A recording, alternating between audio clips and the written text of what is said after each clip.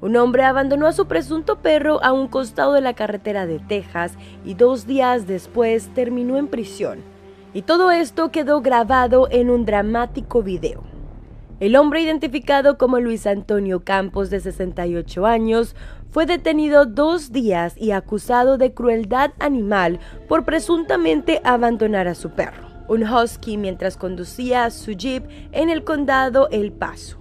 Y luego de que estas imágenes se volvieran virales, una familia conmovida por el video decidió adoptar al perro husky tan solo un día después.